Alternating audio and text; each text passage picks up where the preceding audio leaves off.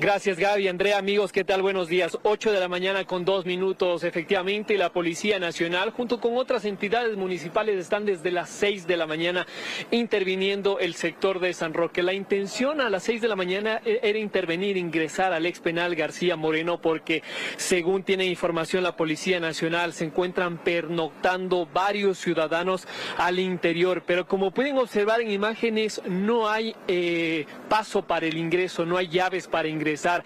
Lo que se ingenian estas personas es que se suben a través de cuerdas y de pasos también que han creado para poder pernoctar en la parte interna.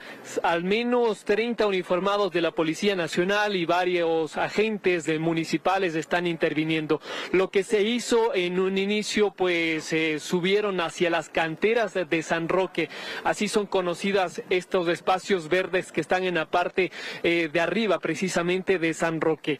¿Qué, encontraron ahí? Varias covachas donde pernoctan ciudadanos, ciudadanos que se dedican, vale la pena mencionar, pues unos de ellos al comercio informal, se dedican a reciclar, pero hay personas también que se dedican a delinquir. Lo que encontraron también son armas blancas, celulares, objetos que seguramente fueron sustraídos en estos últimos días. Y vamos a conversar rápidamente con el coronel Vargas, que es el comandante de acá del distrito Manuel Sáenz Coronel, para que nos comente. La intención en un inicio era ingresar acá al expenal han recibido ustedes denuncias por los moradores de acá de este sector que están ingresando en horas de la noche, varios ciudadanos a pernoctar, ciudadanos que no sé a qué se dedican, quizá es probable que se dediquen a temas del microtráfico y a delinquir en este sector.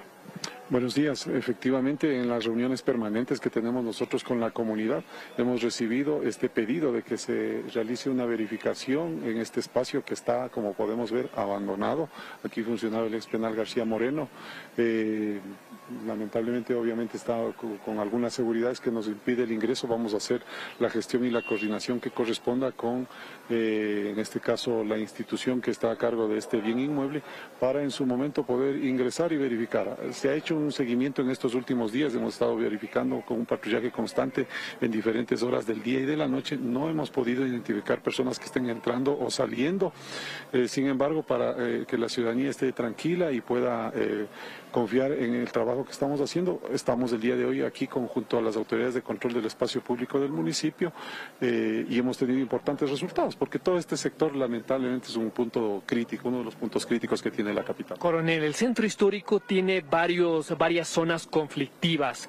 Eh, está el playón de la Marín, está la plaza San Francisco, eh, Santo Domingo también, el sector de San Roque y este sector en donde nosotros nos ubicamos, los exteriores del ex García Moreno y las canteras de San Roque es otro de los sitios conflictivos que encontraron en la mañana precisamente en estas intervenciones que se realizaron en las canteras, varias covachas con ciudadanos que están pernoctando ahí. Así es, y no solo ciudadanos que están pernoctando ahí, sino también hemos encontrado eh, objetos que podrían ser eh, eh, relacionados con los delitos que ocurren a diario. Hemos visto artefactos celulares, armas blancas, cuchillos, estos accesorios con los que consumen droga. La gente siempre, siempre dice, mire, me siento inseguro en este lugar, hay consumo. Obviamente, usted pase por ese sitio. Hemos visto hoy en la mañana niños, estudiantes, personas que bajan a sus lugares de trabajo. ¿Quién se atreve a circular por ahí bajo esas condiciones, un lugar abandonado. Y nos decían precisamente los ciudadanos que transitan diariamente por este sector, les agradecía la policía por intervenir porque constantemente nos manifestaban que son asaltados. La delincuencia inicia aquí eh, justamente, eh, coronel, eh, no solo en este sector, sino también en otros sectores, de estas personas consumidoras, consumidoras de droga, consumidoras de alcohol, que por la necesidad se dedican a delinquir. Efectivamente, esa exigencia de la ciudadanía es lo que, eh, y obviamente nosotros estamos en la obligación de atender esos requerimientos, por eso hemos venido, hemos hecho la coordinación con las autoridades del municipio y obviamente son espacios que, brindan esa oportunidad para que sean espacios de ocultamiento temporal, tanto de los victimarios, de los victimarios como de los objetos robados. Como acabamos de ver, hay varios celulares, armas blancas. Ahí, ahí están los resultados de nuestra intervención. Y nos da muchísima pena que estos espacios públicos, por ejemplo, el ex penal García Moreno, después de haberse cerrado en el 2014, se convirtió en un museo.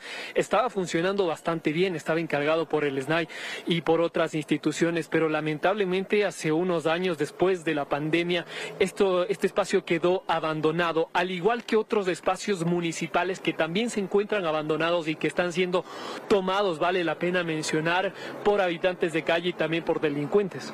Bueno, eh, de lo que conocemos habría eh, aproximadamente 120 inmuebles ah, solamente acá en el casco colonial que estarían abandonados, tanto públicos como privados. Ahí también hacemos un llamado a la ciudadanía, aquellas personas, dueños, propietarios particulares de estos inmuebles, que por favor asuman con responsabilidad la custodia, porque caso contrario se están volviendo en espacios de oportunidad para la delincuencia. Entonces ahí es donde todos debemos eh, trabajar con esa misma responsabilidad para no brindar estas oportunidades a la delincuencia. Gracias, coronel. Y falta voluntad por parte de las autoridades.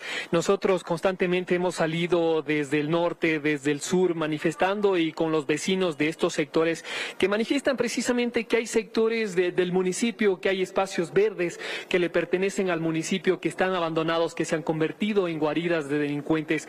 Este, el ex penal García Moreno, es otra estructura pública que se encuentra en estas condiciones, abandonado. Estaba funcionando bastante bien el museo que se instaló después de haberse cerrado en el 2014, pero post pandemia pues esto quedó abandonado, ya no hay voluntad por parte del SNAI, tampoco por parte del municipio.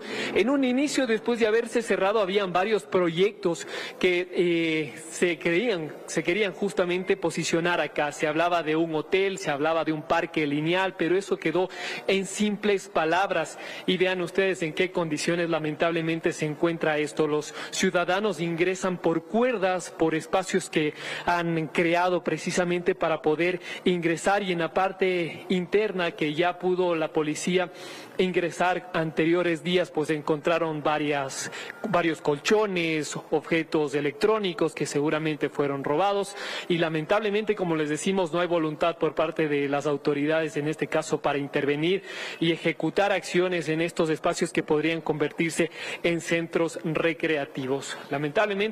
Con esta información nosotros tenemos que regresar siendo las 8 de la mañana, 9 minutos. Gabriel, Andrea, ustedes con más amigos, muy buenos días.